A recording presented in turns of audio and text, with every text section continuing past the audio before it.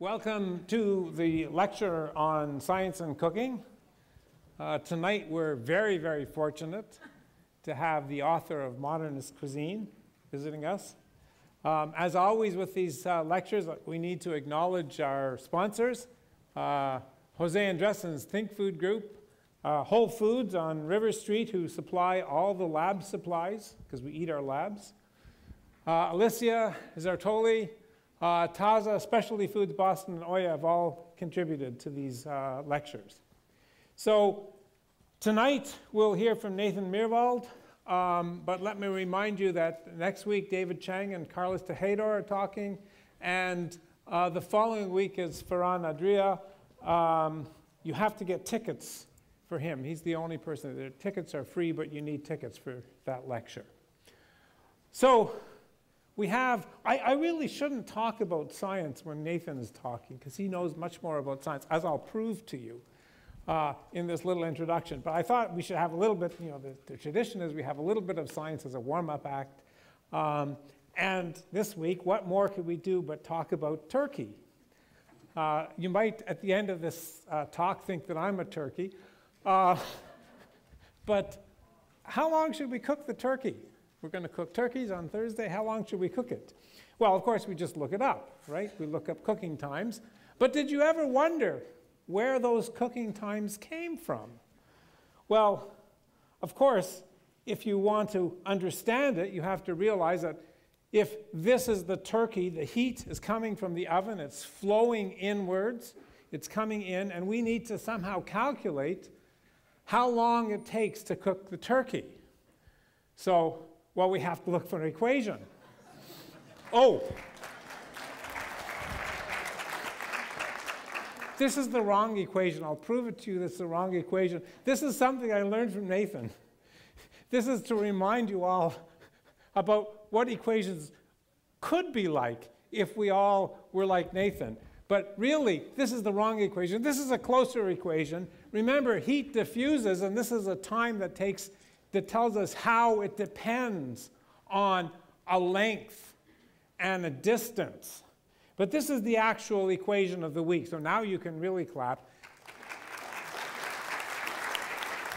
This is a re this is a review. We've talked about this equation before. This tells us how long to cook the turkey. It depends on how, what temperature we want to cook the turkey to. It depends on the temperature that you start with and the temperature that is your, your, the oven is heated up to, and also on this diffusion coefficient. This diffusion coefficient uh, is how heat diffuses through food. And so we can look that up, and here's a list of measured diffusion uh, constants. This is uh, on a book of a practical guide to sous vide cooking. And Nathan has also studied a lot about sous vide cooking, has made measurements of this sort. But notice that the diffusion coefficients really don't vary by very much.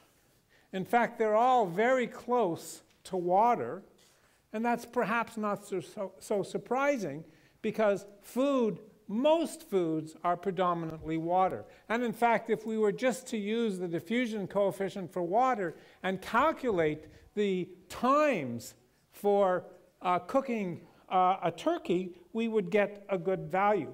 But, you know, look at the turkey. We need to have something. Remember, I showed you how we calculated it. We need some distance. So how do we do that? Well, I'm a physicist, so everything is just a sphere. so we approximate a turkey by a sphere.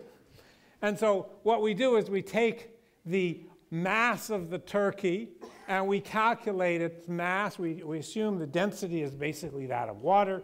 And from that, I can get a calculated size. And then I can put that in the equation. And I can calculate the times. And look, the times really are in very, these are the calculated times. The times are in very good agreement with what the uh, recipe guidelines tell you for different weights of turkey. Notice, however, it says that you start with a certain temperature, you warm it up, you heat to this temperature, but then look what it says the temperature will continue to rise as the turkey stands. And the reason is that you have a difference, you have a gradient of heat. It's hottest on the outside, it's coolest on the inside. And even if you take it out of the oven, it has to come to some uniform temperature. So the heat from the outside of the turkey will still continue to cook the inside of the turkey. That's the nature of the diffusion of heat through the turkey. So, really, Nathan Myhrvold, our speaker tonight, started out even at a different level of physicist than me. He started out really writing equations like this, but he's moved on to much, uh, uh, much different things. Uh, now he uh, uh, not only he was at Microsoft for a while, he has a company called Intellectual Ventures, but he also does modernist cuisine. These are some of the things of sous vide cooking charts that we can find, some of the things that he's studied, really bringing science to cooking. And he's written this really marvelous book, which maybe he'll tell us a little, about, a little bit about tonight. So let me now introduce you to Nathan Myhrvold.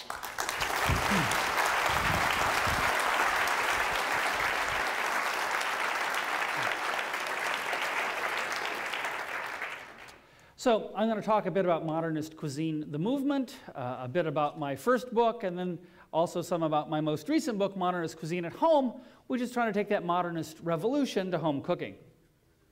So this was uh, the, uh, the book that, uh, that David was talking about here, Modernist Cuisine, uh, five hardcover volumes plus one softcover volume. Uh, and that was aimed at being a encyclopedic treatment of modern cooking techniques. That came out long, long ago in 2011. Um, it took five years to do. Uh, we, as a follow-up to that, we decided let's, we would try to make a book that was really about home cooking, because a lot of the things that were in this book, although they were fascinating, and I, I totally recommend the book, even to people at home, a lot of it wasn't about how can I cook at home. It was more about explaining the science of cooking or explaining uh, the most esoteric cooking techniques. Uh, so we came out with this. This is a modernist um, treatment of home cooking. It's uh, 450 some pages plus a 228 pages. So it's a slim pamphlet like 600 pages, almost 700. Uh, back when I first decided to write Modernist Cuisine, I thought it was going to be huge. And I thought huge meant 600 pages. And now 600 pages in my little home book.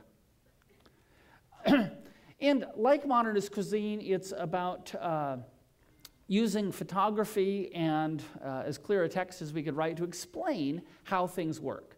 Uh, we cut things in half. There's a Viking stove we cut in half. Um, uh, fortunately, Viking donated that to us because um, they don't work so good after you cut them in half. Particularly the gas part just doesn't work so good. It, uh, like modernist cuisine, it comes with a washable kitchen manual because if you're going to cook with it, it's going to get dirty. The main book is, is sort of too pretty to take in the kitchen or to get, to, to get dirty. This one here, you can splatter stuff on and it washes right off. Uh, one of the things that's really big to us uh, is uh, trying to make a book that's physical quality matches uh, the quality of the food. You know, if you went to a fine restaurant and they served you with paper plates and plastic knives and forks, eh, the food would be the same but something would be missing from the experience. So we thought it was important to have a physical aspect to the book that was good. So it's big, it's got great paper, it's got great ink. Um, this shows really what a nerd I am. I'm going to tell you about how the, the images were reproduced. Um, this is standard halftone uh, screening, 175 lines, and it looks like that if you blow it up. A good art book will go to 200 lines, but it still has this rectilinear grid. It's sort of a holdover from the past, when literally you made these by putting a screen on top of the, uh, uh, the plate. Uh, we use something called stochastic uh, screening, and stochastic screening just looks a whole lot better. Um, now, that's a technology you could only do if you have digital printing technology, but hey, we do. Um, uh, we had a big focus on uh, uh, photos in the book because I thought it was important to show people what food looks like. And well, people say, God, what camera did you use? So your pictures are so vibrant. So it's not the camera, it's the ink. It turns out you can't represent every color with arbitrary set of inks. So here's a picture, and where it's gray is a color that ordinary printing inks cannot reproduce. Here's the full picture. You can see it happens mostly in highly saturated colors. Look at the tomato, look at the orange, uh, even that chartreuse green of the um, cauliflower. You can't get those colors unless you buy the fancy ink. So, ah, what the hell, let's, let's buy the fancy ink. Um, one question I get asked a lot is how come in the 21st century we're talking about ink and paper at all? Why not put this all online or make it digital? And there's two reasons. The historical reason is when we started laying out the book and doing what was going to be the final layout, which was several years back, there was no iPad. The only digital reading device was a Kindle, and when you took this page, you put it on Kindle, it's not so cool looking, particularly in black and white. Um, these days, you could do better with an iPad or the various other tablets, but it's still really small. Um, and so someday we will have a digital uh, version, but in the short term, not because we set the whole thing up for really big, really high resolution, beautiful photos that are really hard to navigate. If you just take a PDF version and try it on a, a uh, tablet, which we've done, it's, it's not very usable. So here's some fun facts about the new cookbook.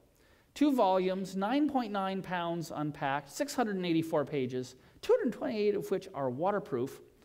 23 chapters, 210,000 words, 405 recipes and variations, 114 step by step photos. We took 86,000 images, and 1,500 uh, photos are actually in the book. So, a lot of photos.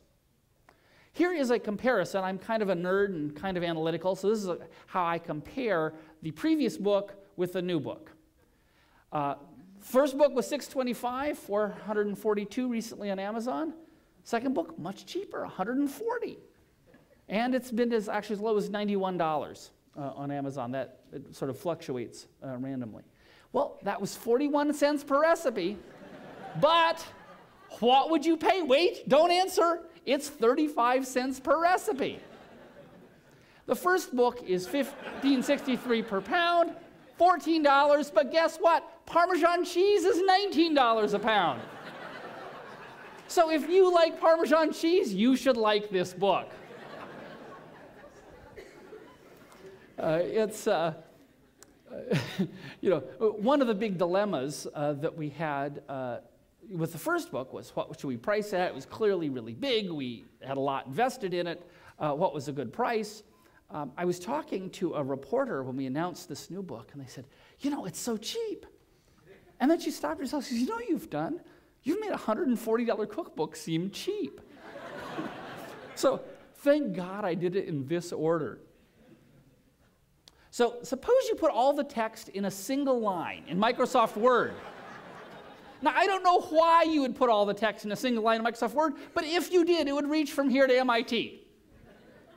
Whereas, if you put all of the text from modern, the big book in line, you could go all the way to Logan Airport. Again, I'm not sure quite what that has to do with the book or with the science of cooking, but, but we thought it was cool. So now I'm going to talk, and switch from talking about the books to talking about modernist cuisine, the movement. And here, uh, there's some ideas that are artistic and scientific. Uh, the first is that art is what we do when uh, uh, art is the expression of human thought and emotion. Um, and it, art is something that's generally considered very different than science. But of course, they both live here in this physical world. Art and science are both important. Um, I, I, had a reviewer uh, uh, from the UK ask me uh, about this in the first book, and, and she was not that happy with this whole concept. And she says, what made you think you should bring science into the kitchen? I said, Sorry, science was already in the kitchen. I just was taking the ignorance out.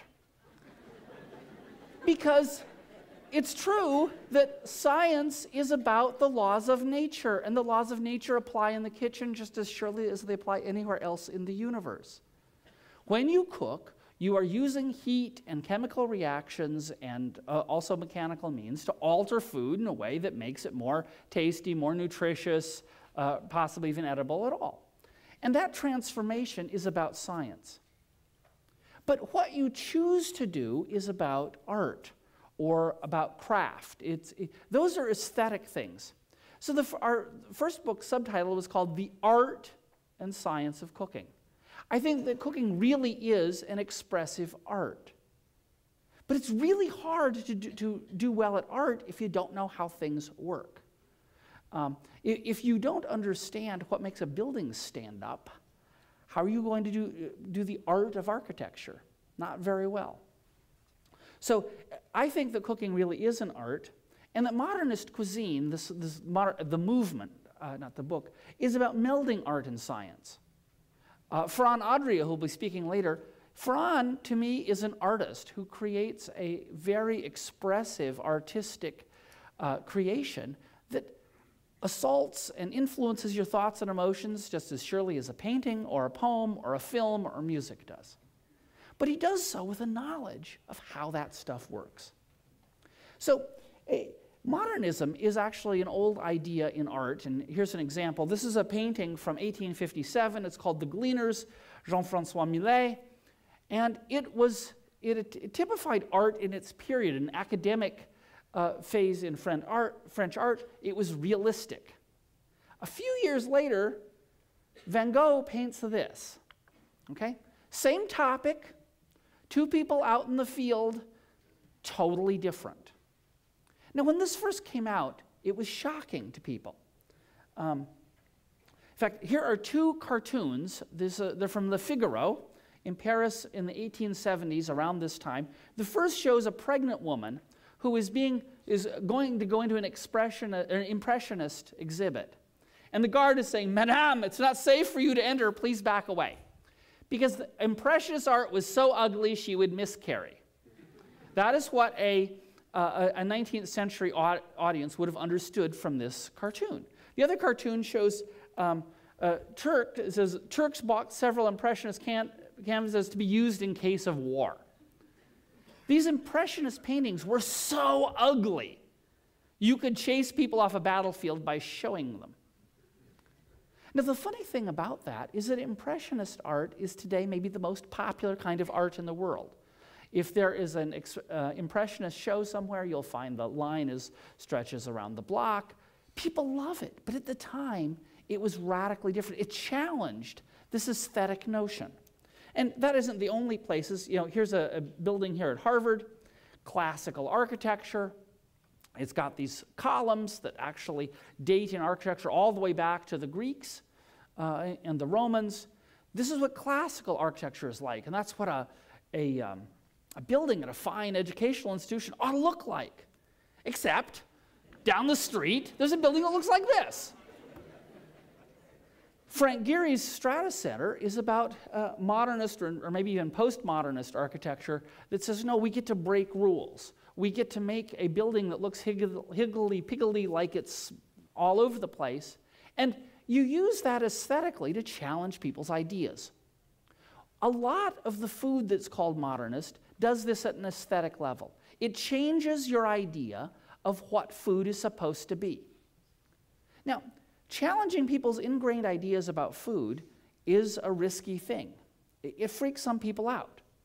Um, you probably would be better off trying to be controversial about, say, religion or politics than food with some people because we've got such a, uh, a grounding in it. Um, when Ferran first started putting foam on, uh, on things, huge reaction, which of course was why he was doing it because part of art is about deliberately breaking rules to make us understand we had rules there to begin with.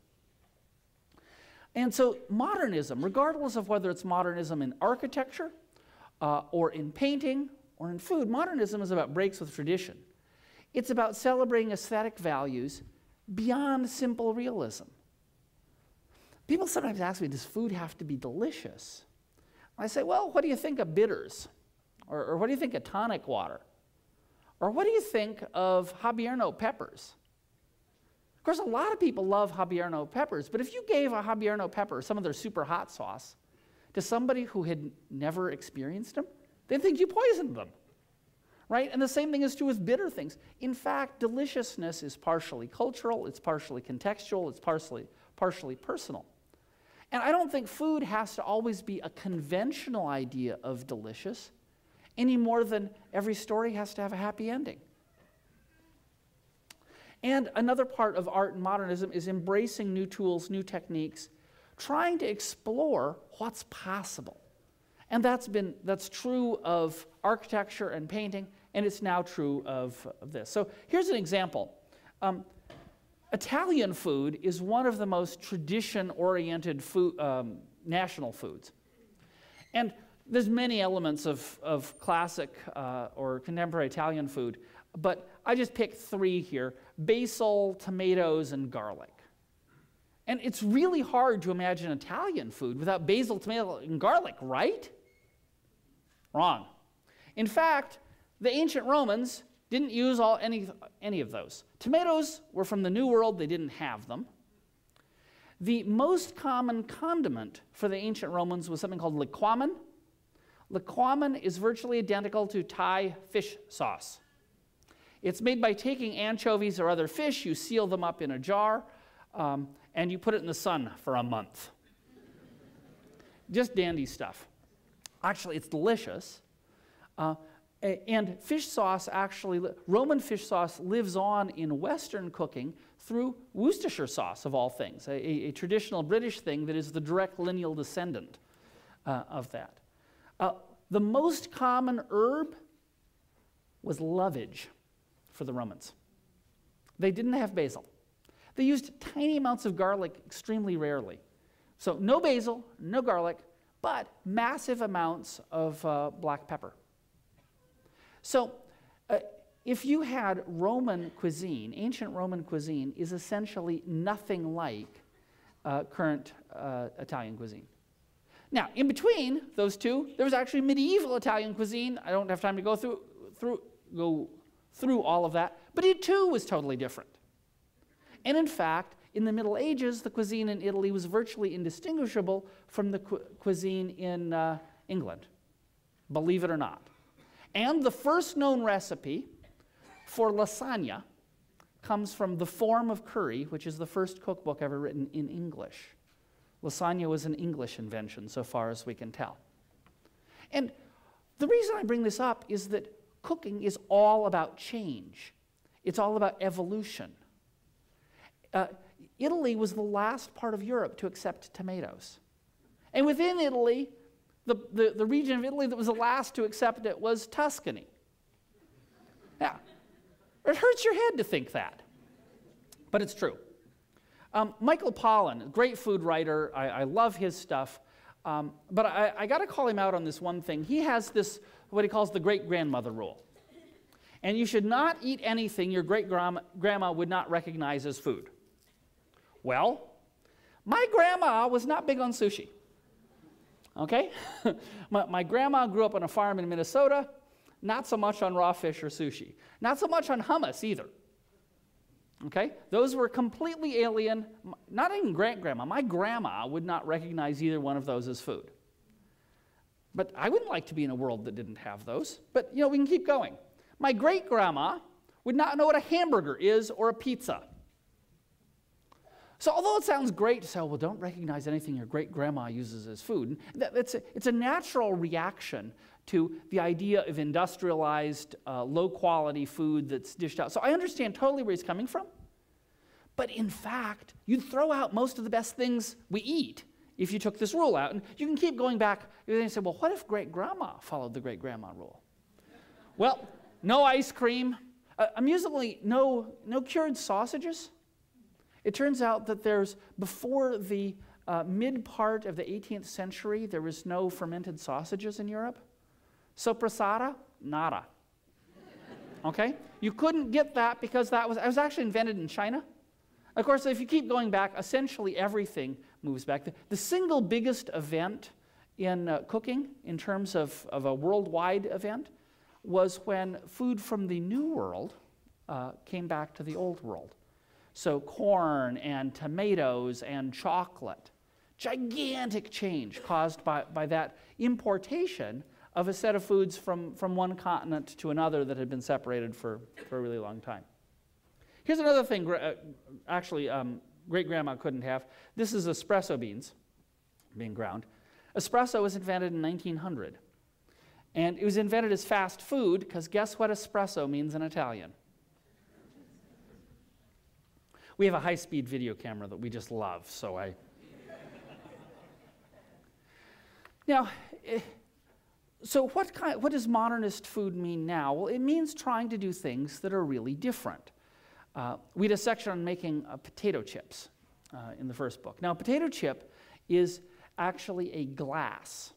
A solid state physicist would tell you a glass is a very specific thing. There's crystalline solids, and crystalline solids have crystals in them.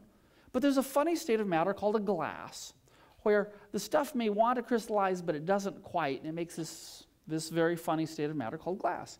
Well, starch can form a glass under certain circumstances, and when you fry a potato that was thinly sliced, the starch in there will make a nice, crisp glass. If you have a prawn cracker, which is a, a, a typical uh, Asian uh, cuisine thing, that's made from typically tapioca starch. That fries up and is super crisp, the same thing. So I got on this kick of saying, let's make a chip out of anything. And I hit on watermelon. Now, watermelon is a very inauspicious thing to try to make a chip out of, unless you give it enough starch. So, to make a watermelon chip, you say, well, hey, fruit and vegetables are filled with lots of vacuoles that have water in them. They, they're actually quite porous. So um, an apple is 50% air. Now that sounds crazy, except there's this thing actually around this time of year, around Thanksgiving to um, Halloween, that is a traditional American thing called bobbing for apples. If it wasn't, hadn't have air in it, why would they float? Hmm? They float nicely because they're half air.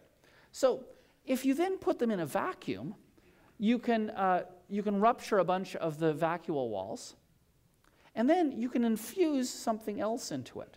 So in this case, what we do is we take very thinly sliced uh, watermelon, we put it in a vacuum with a slurry of starch, and it sucks the starch right up into it. Then you fry it up, and you get very crispy watermelon chips. Now, you can keep playing this game other ways. We wanted to make the ultimate French fry. Uh, one of the themes we have is that any food, no matter how humble it may seem, any food is worthy of giving it your attention, and it's worthy of trying to get, make an ultimate version. And maybe you don't eat the ultimate version all the time, but there is a, such a thing as an ultimate uh, French fry.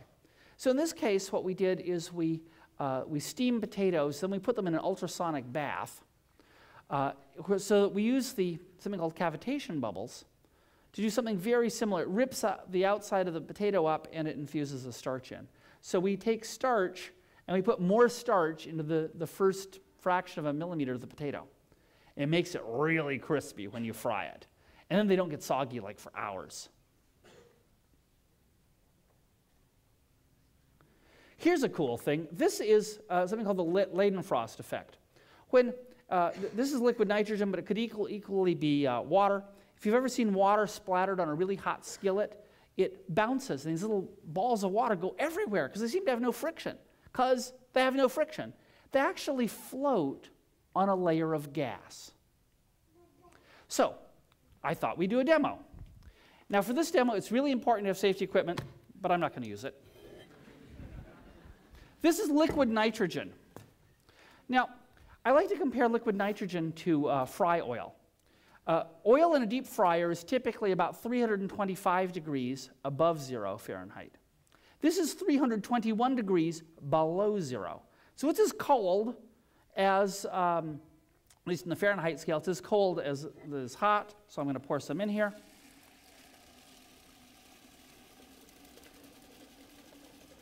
Now, Liquid nitrogen is wonderful stuff. We would just not cook without it anymore. The, um, there's a service that delivers it in our area, and when, when he, the guy delivers it to the house, he says, You know, there aren't any other houses on my route.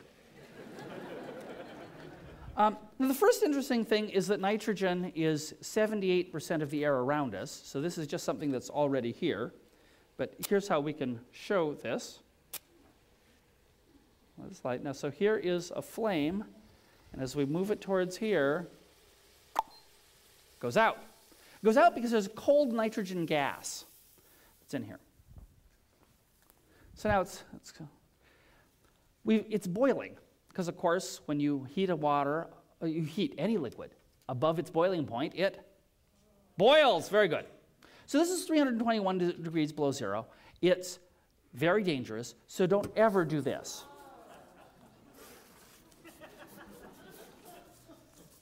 now, when people say, isn't liquid nitrogen dangerous? I always say, try this with fry oil.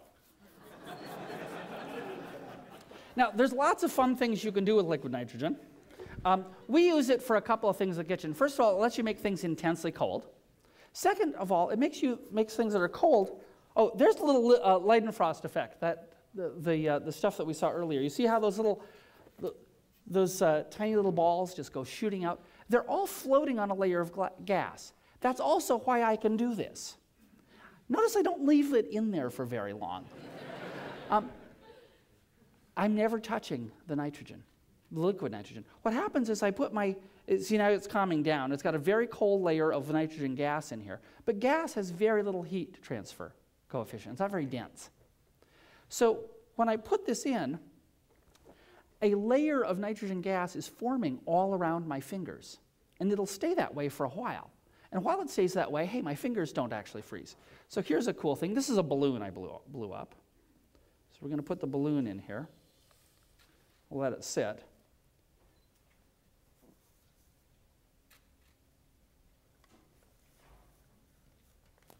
Now, what's happening here is, a, is the universal gas law. PV equals nRT. So as we cool the balloon, the air inside shrinks. In fact, the nitrogen wants to get this. Now watch it expand.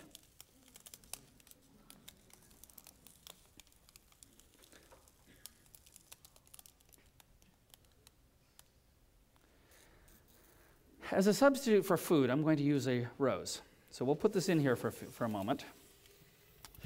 Liquid nitrogen is a great example of something which has been uh, around for a very long time, uh, late 19th century is when it was first produced. The first suggestion of using it for cooking occurs in 1901. A woman named Mrs. Beeton, or no, excuse me, Mrs. Marshall, Mrs. Agnes Marshall, was sort of the Martha Stewart of the 19th century. She had a cooking school, she wrote cookbooks, she was very famous. So she writes this book where she's got a passage that she'd seen a demonstration of this, which at the time was called liquid air. She said, Oh, wouldn't it be great if you could use it for cooking and you could make ice cream at the table? She was totally right. But the first person to take that up and do it was actually a traditional French chef in 1979 uh, in southwest France. Okay, well, I'm going to show you why we use it in cooking. If you use it, you can make things a little bit cold, like I did with my fingers, but you can also make it really, really cold, so you can go like that. So this is like glass. You can hear me crunch it here. It, it is literally like glass because it's, it's frozen so, so, so, so cold. So now we'll go back here. I've got a couple videos. So we use it for lots of things. Here's uh, cryo poaching, um, uh, cryo shattering. We have a whole cryo almost everything. Um, for example, uh, to make a powder out of something, there's a parsley there. You freeze it in liquid nitrogen, put it in a uh, food processor, it'll shatter into a powder, um, kind of like the rose did. Uh, you can freeze uh, olive oil or other oils, and you do this cool thing, you freeze a big pile of it, you hit it with a hammer, and it looks like glass shards. You put it on the plate, then it melts when it comes out. Uh, if you want to make little spheres, you put a droplet and you let it fall in. And if you have, depending on the viscosity, it, there's a certain distance it's got to fall for it to form a nice sphere, and then it hits the uh, liquid nitrogen and it freezes. Um, here's another thing you can do with it. I'd like to say there's a real cooking purpose to this, but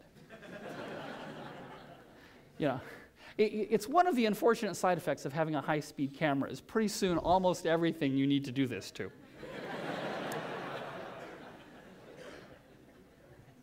now watch this closely. Now we're talking about a different aspect of boiling. Watch it and I'll tell you what it is in a moment.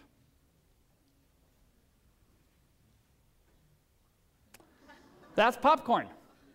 Now, when a liquid boils into a vapor, it expands. Uh, in the case, I'll do this one more time here because that one was. Watch closely. So there's water in there. The water is boiling to steam. And right now, it's a tiny steam rocket. A fissure is formed, and there's steam shooting out. And you can watch it expand to try to leave the pressure, but ultimately it fails. In fact, when you boil water to steam, it expands in volume by about a factor of 1600. Um, that's uh, how prawn crackers puff up. That's how a, largely how a souffle rises. Uh, that's how chicharron or um, uh, uh pork, fried pork rinds uh, get to be puffy. It's all because this uh, effect when you boil water to steam. Well, there's tons of other things. I'm just going to hit on a few of them. Um, grilling is a fascinating deal. It turns out that most of the science of grilling, most of the flavor of grilling, comes from this. This is fat dropping down onto a hot coil, coal, and it flares up. And that flare up produces most of the characteristic flavor of charbroiling. Uh, people say, oh, we should use mes- mesquite charcoal. It doesn't matter. What matters is that the fat drips on the coals. Um, this, is, uh, this is sort of a close up. for those burgers to taste like they are grilled, you've got to have the fat from below. If you put the fat, or excuse me, the, the fat has to drip onto heat um, that's below. If you put the heat above, then you get broiled burgers. Those are good, but they taste different. And the difference is incomplete combustion and pyrolysis of that uh, stuff. So people sometimes wonder why their grilled zucchini doesn't taste that great. There's no fat in a zucchini. so our solution is simple get a squirt bottle, fill it full of oil, and squirt it on there. It works like a charm. So that's what this says. So it's not about the, the charcoal. The charcoal has essentially no flavor. Didn't matter what it was made of originally, you made it into charcoal, which means there's nothing left. Um, so it's all of the things. Uh, various sugars and other things contribute also to that thing, but the single biggest uh, aspect is fat um, going. So that's how you get the complex flavors. Uh, another interesting thing is proteins and how proteins coagulate under heat. This is uh, eggs, where the eggs are at different temperatures. Of course, the raw egg over there. As you increase the temperature, both the yolk and the uh, egg white have different proteins, and they coagulate at different temperatures. And so, a lot of egg cookery is about how you deal with that fact that you've got very different temperatures for the two. Um, what most people like is to have a yolk that's soft and runny, at least for, there's a bunch of dishes. We want a soft, runny yolk, but you want to have a firm white.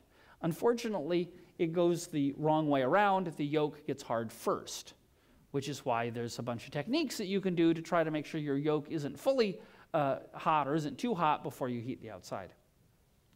But once we, oh, here's another gratuitous high speed video. So this is frying an egg. Now, do you see those bubbles forming? Those bubbles are steam. That's the same expansion uh, uh factor. As it, uh, as it gets hot, a, a, a, bubble of steam nucleates and it grows, and that's what makes all those bubbles. That's what the sizzle is from. So when we uh, started doing this work on the temperature of eggs, we realized that custards really had a lot of science in them. Now, a custard is when you take um, uh, milk or cream or some other liquid and you mix either whole egg uh, or egg white or egg yolk in with it. Well, depending on how much egg you add, that will clearly affect the texture, but also depending on how much temperature you apply to it, you'll affect the temperature. So we did hundreds of experiments to say what are the different combinations of concentration and temperature to get you a certain effect. Now, I call this modernist by attitude. There's nothing modern about this. Escoffier could have done this, right? All it requires is um, a thermometer. So it's a very simple thing, but if you have an attitude of being scientific, you have an attitude of using empiricism, then absolutely you'd say, yeah, let's go do this. So we did it, and this is a great reference for anybody trying to make a custard.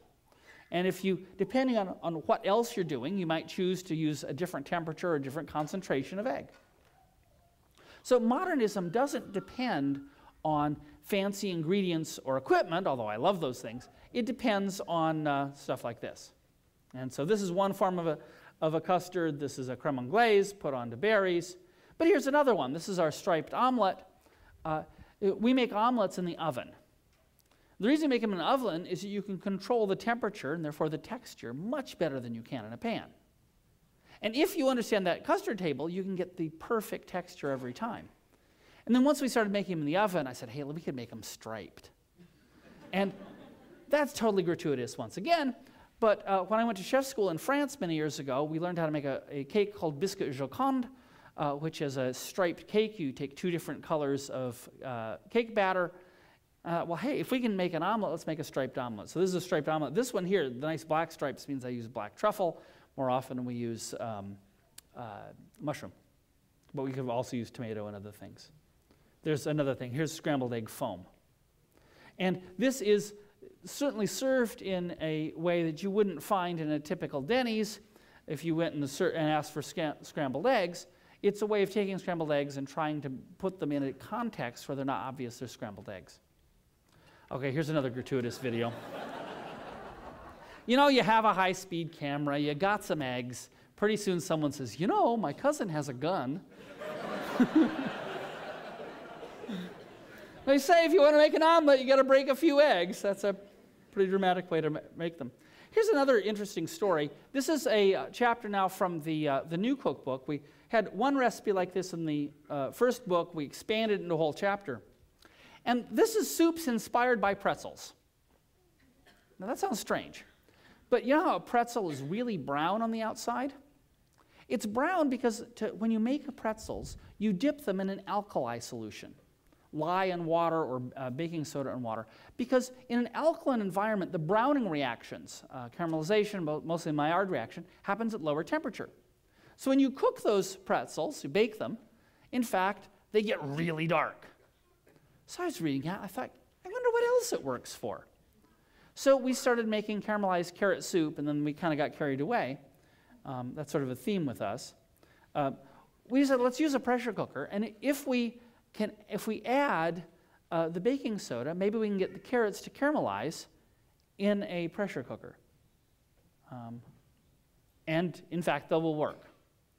So inside a pressure cooker, it's higher pressure than out here. That means that you can uh, make water 250 degrees before it boils. Um, and you have 100% relative humidity, that, that's sort of important. Then if I lower the pH, I can actually brown the things inside that. And in fact, you can brown all the way through. Um, and so here's, here's an example. It makes an amazing carrot soup. And then we said, hey, let's try it with broccoli, let's try it with this. Then we started rendering fat with it. If you render fat uh, with a little bit of baking soda uh, in a pressure cooker, it gets this amazing roast uh, flavor to it. So it's a great example of using a couple of simple principles, one discovered long ago by whoever invented pretzels, um, and then sort of explaining, using it in a broader context. There's the soup. Here's a whole bunch of variations to the soup. Artichokes, cauliflower, broccoli gruyere, corn, apple parsnip, mushroom, it all works. They, they get different colors, they get different deg degrees of roasted or browning uh, flavors. So, roast chicken is another thing we devoted a chapter to in the new book. Uh, roast chicken is fundamentally a contradiction in terms. You want to have the breast meat, in particular, be juicy, and it's very easy to dry it out. But you like the skin to be crispy. But those are at odds. This, to get the skin crispy, you have to get it really hot, but it's touching the breast. So, what do you do? So, along with our philosophy of saying, hey, any dish can be elevated, and there's, there's sort of an ultimate expression of it, we said, let's make the ultimate roast chicken. Uh, well, in order to do that, you need chickens that are junkies. so, there's a whole bunch of steps to this. One step is you stick your fingers under the skin and you push the skin away. Um, that's done in uh, traditional Chinese cooking for Peking duck. Well, brining is a terrific method for, uh, for making a, uh, pro, any kind of uh, meat protein more juicy. Uh, salt, the salt ions alter the proteins and they make them hold more water. Very straightforward. There's a problem. The skin is full of protein too. And juicy skin is called rubbery skin. So, although it works great to brine a whole bird, the skin gets horrible. So we said, no, no, enough of that. So we take our brine and we inject it into the meat. And we're careful not to get any of it on the skin. You can buy these syringes in any um, uh, kitchen store. So it's actually not that hard to do. Uh, we also then hang the bird. Oh, here's injection brining. Um, this explains what I just said. We hang the bird like this um, uh, in the uh, refrigerator for a couple days. Now, the reason you do that is twofold. One is there's a whole religion about um, trussing chickens. Now, you have to truss the chicken, and I, I, can't quite do it here, fortunately, but you, you bring the legs up and you're, you're all in a little ball. It's totally the wrong thing to do. You want the legs to get more heat, not less heat. And by bunching them up, it's harder for the heat to penetrate because of the diffusion things that uh, Dave uh, started this with. Uh, the other thing is if you hang it in your kitchen uncovered, the skin dries out. But you want the skin to dry out if you want it to be crispy. Then you bake it for four and a half hours at low temperature, then you put it in a hot oven, and ultimately it looks like this. Um, now, in a modernist context, you could also say, well, why don't I just pull the skin off, cook it separately, and put it back on? We do that too. It's much easier. Um, but we thought it was cool to try to make the traditional roast chicken as a whole bird. That's what it looks like. When we serve this at our tasting menus, we like to say that it's grandma's roast chicken, so we serve it on grandma's plates. Um, for the sauce, we also do another thing that's interesting. Uh, most uh, sauces in French cuisine are finished with butter or cream. That tastes wonderful. The trouble is, it tastes like butter and cream. If you're making a chicken uh, sauce, wouldn't you like it to taste like chicken? So we always uh, thicken our sauces with rendered fat from the same thing. So in this case, we take rendered chicken fat, uh, which in Jewish cooking is called schmaltz. So we take our schmaltz and we thicken with that. Um, then, if we're really being fancy, we pressure render it so we get this wonderful roast flavor. Um, one of the differences between modernist cuisine at home and, and the big book is that the um, modernist cuisine at home has simpler recipes in terms of the technology, simpler ingredients, but also a different style of food. Uh, in our big book, we cover all kinds of cuisine, including uh, recipes from Heston Blumenthal and Ferran Adria, José Andrés, many of, almost everybody, I think, in your, um, uh, in your whole uh, program here. But people don't eat that kind of food every day. So in modernist cuisine at home, we said, let's try a less formal kind of food. So we have a whole chapter on mac and cheese. Now, the key thing with mac and cheese is that cheese is an emulsion. Okay? Milk is an emulsion to begin with, and when you coagulate it, it's still an emulsion. It's just sort of a frozen emulsion. When you melt it, the fat separates. And you've probably had a pizza that has like a thin la- uh, layer, maybe not so thin layer of oil on top, and the cheese gets really kind of gritty and stringy underneath. Well, you don't want that. So typically, when you make a cheese sauce, you put in starch cornstarch, flour, something like that, to make a, what in French cooking we call a bechamel sauce. The trouble is, the starch gets in the way of the flavor of the cheese. So you get a starchy, gooey kind of sauce, not a cheesy kind of sauce. Um, well, it turns out in 1911, a man named James Kraft, who at the time was a small uh, cheese merchant in Chicago, Illinois, he owned one a horse and he had a wagon and he took his cheese around. The trouble is, no one had a fridge, so the cheese would often spoil. He says, How can I make canned cheese? Well, to make canned cheese, you had to, to make cheese that was heat stable. He found out how to do it, got a patent. That led to the Kraft food empire in Velveeta. You know, sometimes things go amiss. Um, it turns out if you add a small amount of an emulsifying salt, it changes the balance of ions and it actually stabilizes the emulsion. So that's what we do. Here's, uh, here's the cheese. Here's what happens. It stays perfectly gooey and melty, and there's almost nothing in it except a tiny amount of the emulsifying salt. Typically, we use sodium citrate. Sodium citrate is in every grocery store in America, or just about, uh, because it's used in Passover. It's called sour salt. Uh, you can also order it on the internet and so forth. Well, then once you've got a melty cheese recipe, you use it all over the place. So we have a chapter on grilled cheese sandwiches. And then, of course, grilled cheese sandwiches are pretty plain, so we started putting other stuff in them. And then, melted cheese sandwiches, other stuff isn't so cool, so we suspended gravity to take these photographs. Uh, steak is another uh, great topic. Um, I'm just going to flip through some of these because we don't have time to go through all of them. Uh, we have a great uh, uh, recipe for uh, picnic, cooking steaks on a picnic or a tailgate party. Um, you just put hot water in a big cooler and put the steaks in Ziploc bags and throw it in. A few hours later, it's done. So you can, you can go, rather than having a cooler, you're actually using it as a heater. It's a sous vide without the equipment. Um, we have a, a, bunch of recipes for carnitas, uh, for braised short ribs. If this doesn't make you hungry, you're a vegan. and in fact, even if it does make, if even if you are a vegan, it may make you hungry. Um, chicken wings. That's another example of having less formal food. We have a whole chapter on chicken wings, but then we got carried away and we have sort of any kind of food on a stick. So satay and skune and shish kebab, and this is our food on a stick chapter. Um, but that didn't sound so good for a chapter name, so we called it chicken wings. We, we love talking about ingredients. Uh, a question I get asked a lot is Isn't modernist cooking the total antithesis of farm to table? Say, no. Anybody who's a cook who really cares about the food wants great ingredients, and we do too. Uh, so, uh, we, when we cook dinners ourselves, uh, we work with local farmers. We try to get the freshest ingredients possible. Uh, ingredients are really where it all starts.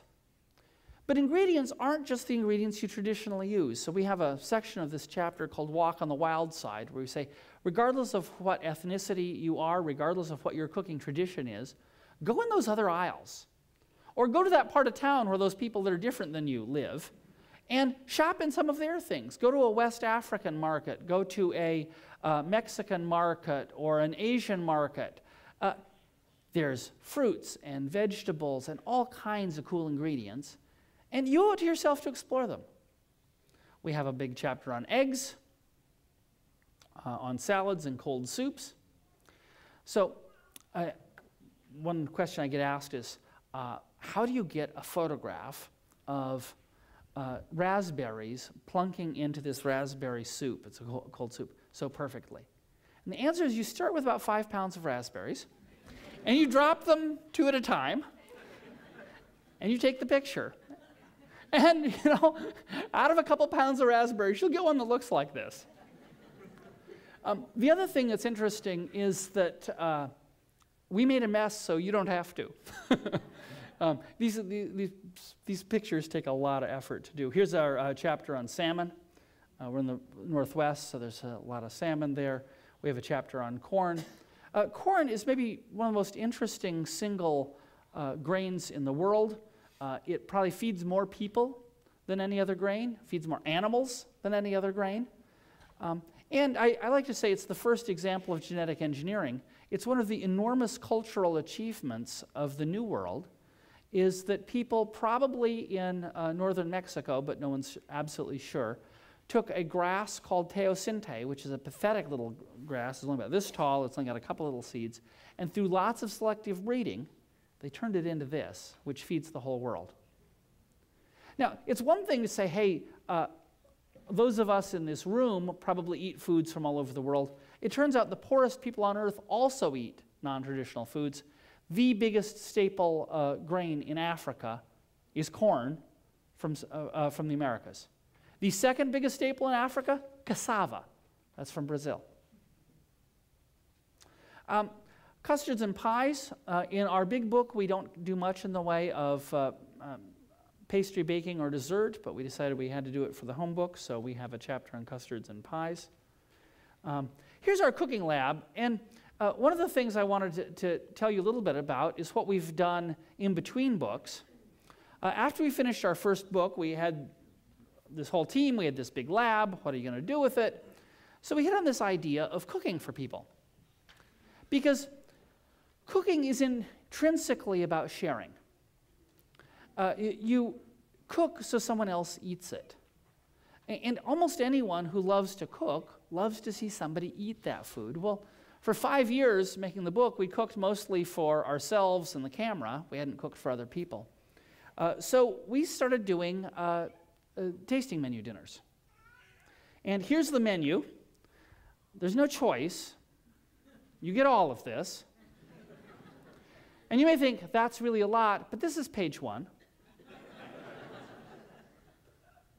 I'm not kidding, it keeps going. Um, typically, we do 30 to 35 courses.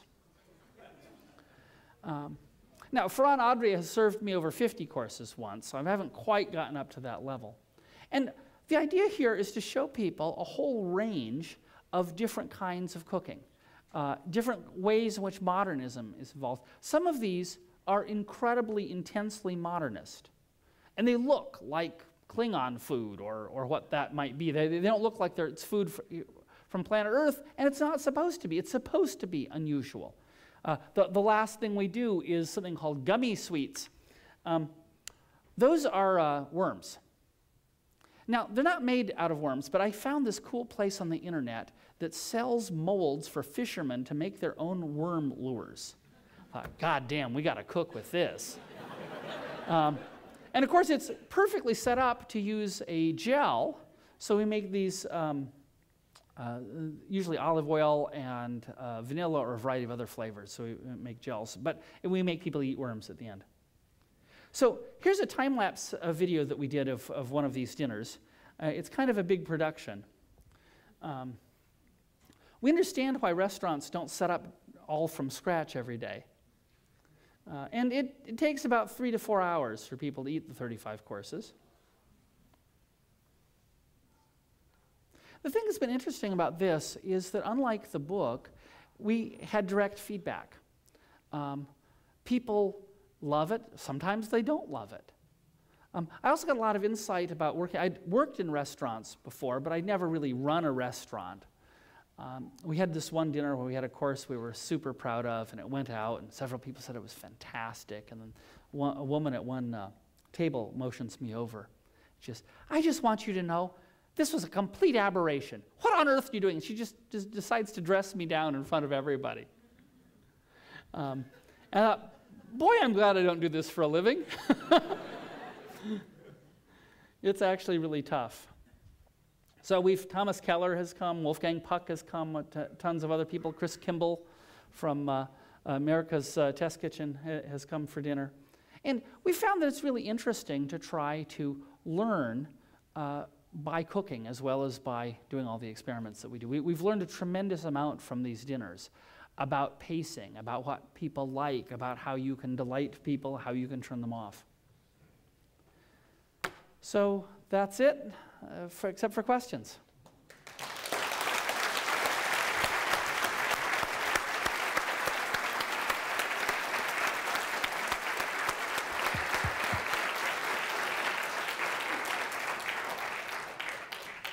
So we have some time for some questions.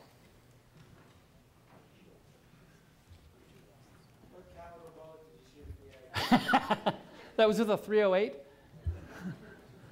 How do you take the photos of the cross sections for the pots of food, and how do you take the pictures with suspended gravity for the sandwiches?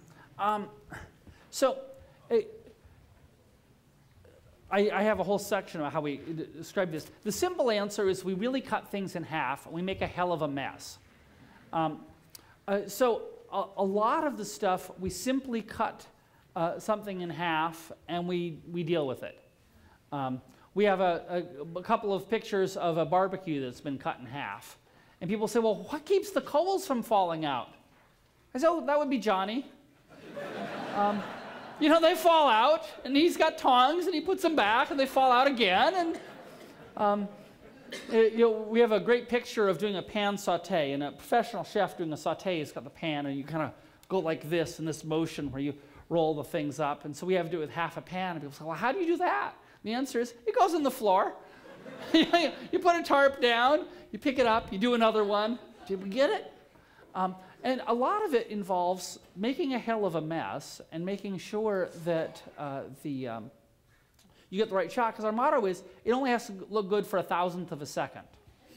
Um, for the suspending gravity shots, generally what we do is we have something propping them up, um, usually from behind. Um, a few times we've done it where we take things, we actually drop them, but uh, that it's easier to space them. So for those grilled cheese sandwiches and stuff, there each is a little platform behind. Um, when we've got a liquid that we're containing, we typically will take the, the, um, the pot that we've cut in half and we glue a piece of Pyrex to it. Then you take the picture. The great thing when you cut something in half is you have a second half left.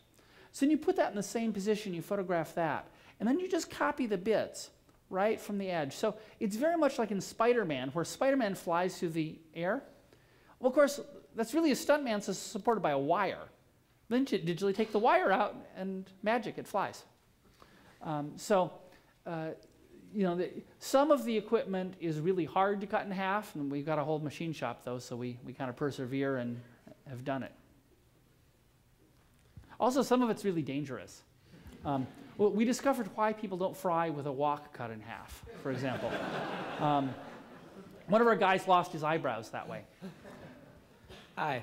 Uh, how much of modernist cooking at home is new material and how much is uh, distillation from the other book? Uh, well, distillation is covered in the first book, but no, that isn't what you meant. Um, uh, so, at some level, it's all new.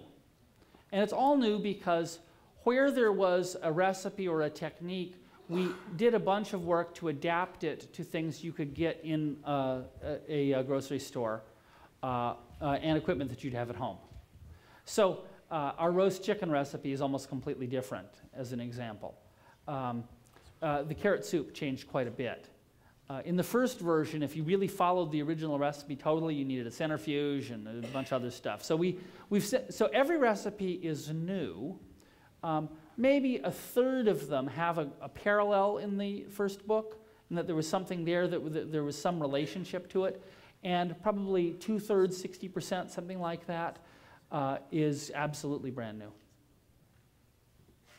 With so much experience in the science of food, what's your favorite emotional food memory? Hmm.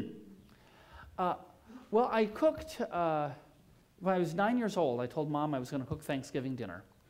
And I went and I did all the shopping myself. I wouldn't let mom in the kitchen. Uh, and that was a great memory because it actually sort of kind of worked. I mean, not as well as I would do today. But my favorite dish was one I made the next year when I decided to cook Thanksgiving dinner. And we had a dish that was truly modernist in spirit and it was called Firecracker Surprise. and uh, there was a, uh, we, we got one of those cloches, a bell that you put over. And my brother helped me with this. So I was 10, he was 8. Um, he got to lift the bell off dramatically while I dropped a lit firecracker under the table.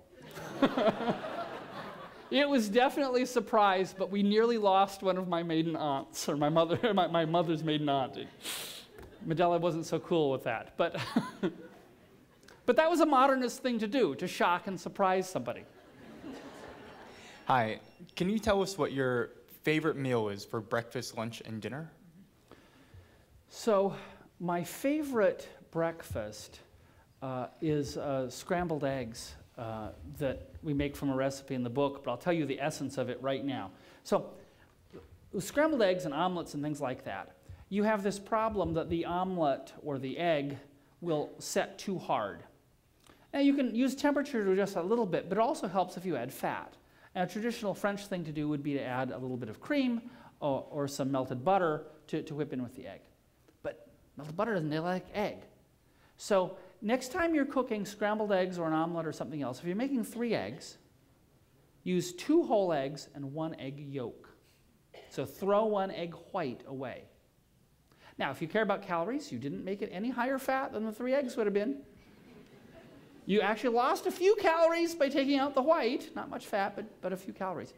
That changes the ratio, and it'll amaze you. It's got totally, it's much better texture, it's much yellower, now, you can go crazy and keep adding more yolks, um, and at some point it gets really orange, and then it, it, has got a completely different texture. So I do that, and then I generally uh, cook it, because uh, I have a steam oven at home, um, I generally cook it to about 164 degrees. That's perfect scrambled egg texture for me. Um, I mean, you asked. Uh, uh, lunch, I don't think I have a single favorite. uh, lunch. And for dinner, I love to eat all kinds of interesting food. You know, one of the key things about food is that we all love variety. And people say, well, is modernist cooking going to take over? No cooking's going to take over. In fact, today in Boston or in Cambridge, either one, there's a greater variety of food now than ever before in history. And if we look 10 years from now, there's going to be even more.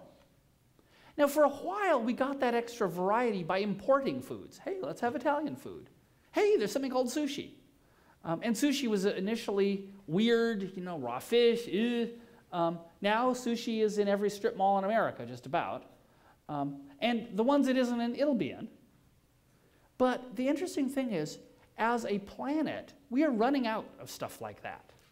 People love to talk about all of the limits of, of Earth, and we're running out of lots of things, but it turns out we're running out of cool cuisine. Because there's not 10 more great things like sushi.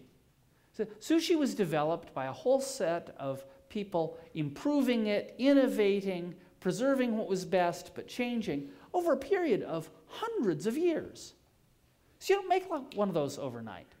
And there aren't 10 more of them. So I don't know if there's Tibetan food uh, or Nepalese food in Cambridge. Probably there is. There's probably some place that doesn't have a recipe in Cambridge, or doesn't have a restaurant, excuse me. They will. But that alone isn't enough to satisfy our incredible, insatiable urge for variety. Uh, which is why modernism exists. That's why invention exists. That's why some of those things I showed you, using tomatoes, inventing corn, inventing ice cream.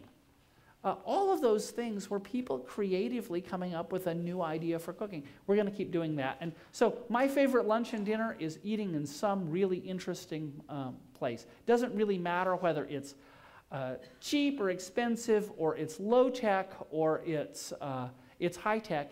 It's experiencing somebody else's vision of flavors and textures. Long winded answer, sorry. So, um, for your new book, I was wondering what your criterion are for uh, uh, what's a successful recipe? How did recipe get into your book?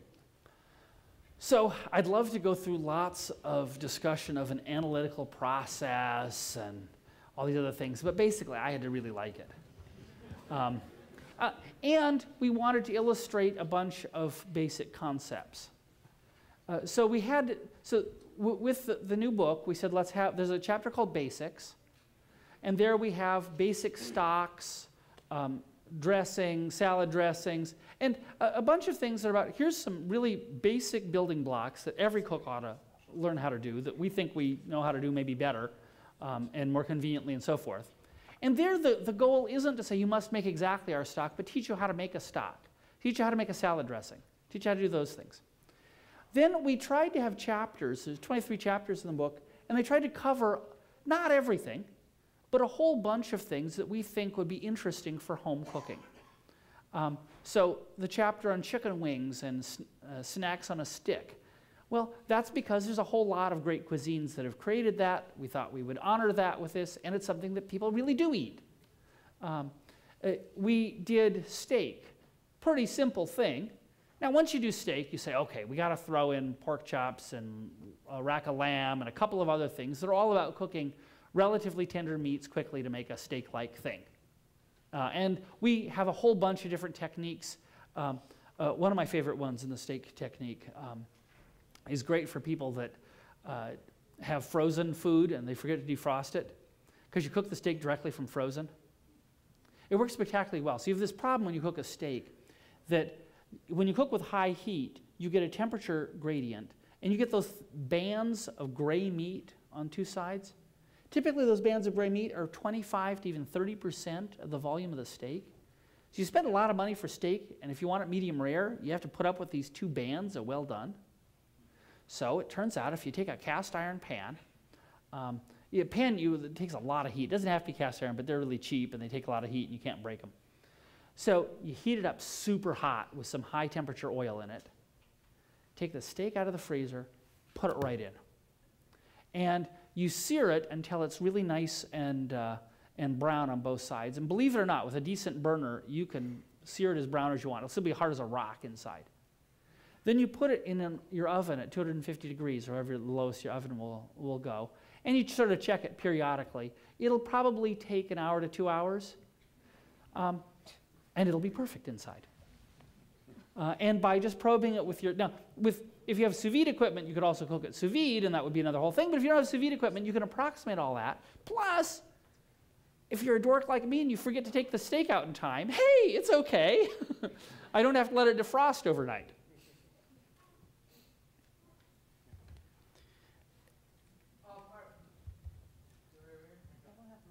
Oh, oh okay. Um, it's, uh, it's encouraging to see where physicists can go. Um, so I was wondering, what is like the most interesting non-obvious application of some physics principle, thermodynamics, mechanics that you've discovered in this whole process? Uh, that's a good question. Um, it all depends on, he, he clearly has, is a physicist because he said non-obvious. Um, besides everything being spherical, that's another uh, physics speak thing. Um, it, probably the one that's, you could argue whether this is really interesting or not, but I'll, I'll tell you anyway. Um, uh, that has to do with something called the, the stall in barbecue. If you cook traditional southern barbecue that has a big hunk of meat, like brisket or pork shoulder or whole hogs, there's this phenomena that people noticed for eons ago that the temperature will rise and then it will stall, it'll stop rising for hours, then it'll go back up. And if you search on the internet, you'll find thousands of pages devoted to people arguing about what makes the barbecue stall. Well, damn it, we figured out what makes the barbecue stall. And here, here's the basic idea. People had lots of theories, and most of the theories were that you were making a chemical change in the meat. You were, particularly, you were taking collagen and turning it into gelatin. And so you were absorbing the energy in there. Doesn't work. It's a lot of energy. You got this big chunk of meat in, in hot uh, smoker or oven, and it's not, temperature isn't going up for four hours, that's a lot of energy.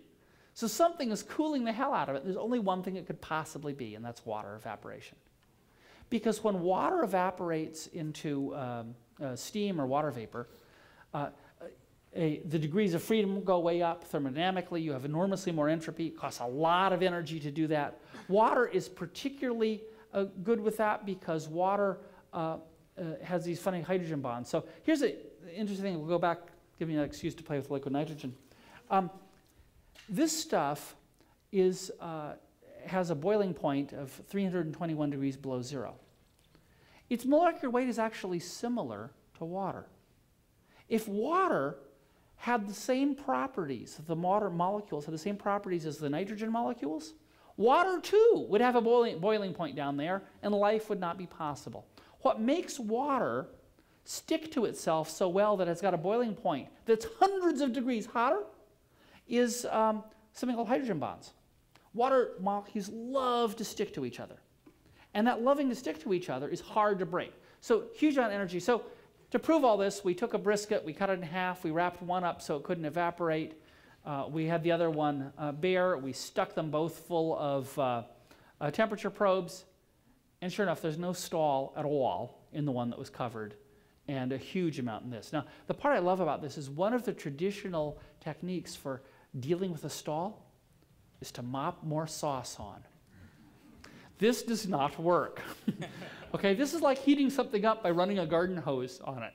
Okay, they actually cool it down, but because that wasn't realized. So I, it was certainly non obvious to everyone who was in that field for you know, 50 years that people have, have argued about this. You've had um, several very successful chefs come and eat your food. As you mentioned at the end, you had Thomas Keller. I was wondering if you could tell us what are a few of the reactions, both good, maybe not so good, that you've gotten to uh, modernist cuisine? Well, there's, in terms of good, um, people like the book. they like the book and they like our food. Um, and it was important for us to cook for people like Thomas Keller because we didn't have any street cred. And uh, there was, maybe they didn't worry about it, but we worried that people thought, well, okay, they can make these cool pictures, but does their food actually taste good? So I think we convinced them the food tastes good. Um, after Thomas came, uh, he sent the head chef uh, and head pastry chef from every one of his restaurants for subsequent dinners. So maybe that was so he come, come back and say, see what dorks they are? But, but I'm thinking not because he wrote the preface to my new book. Um, so that was both very gratifying Uh, but it also helps us, you know, ground it in something that says, yeah, actually, aesthetically, this is something that, that that's reasonable. In terms of negative reactions, uh, there's two kinds of negative reactions we have. Well, one set of negative reactions uh, is to the book, and most of those negative reactions uh, are from people that have never seen it. But it turns out never seeing something doesn't mean people won't judge it. Um, and in fact, there's a saying don't judge a book by its cover. You know why that expression exists? Because people judge books by its cover. now, of course, we have a nice cover, but, but all the same, uh, you know, when it was announced that the price was $625, it outraged people. Uh, I talked to this one person who, a journalist, who said, No book is worth that. I said, Well, now you made me mad. Because you might say my book is not worth that. Maybe my book isn't worth that. But if you say no book is worth that, you've tried to cheapen all of knowledge. And by the way, have you bought any textbooks recently? you know, head to some place that sells textbooks and buy the same weight as my book as my, my book and see what the hell it costs you. And they don't have cool pictures. they don't have chromocentric inks or stochastic screening. Um, but it sort of offends people's sensibilities. Uh, another way it offends people's sensibilities is, uh, is that there is an aesthetic idea that somehow science is bad for cooking in some way. Um, I, get th this is like the question of what, what made you put science in the kitchen. Um, it, it, it's, uh, but it's often expressed more negatively as you're taking the soul out of cooking. I said, How so? Um, and people say, Well, sous vide. Sous vide takes the soul out of cooking. I said, Well, look, sous vide at its essence is about using a digital thermostat to accurately control temperature so I don't overcook the stuff.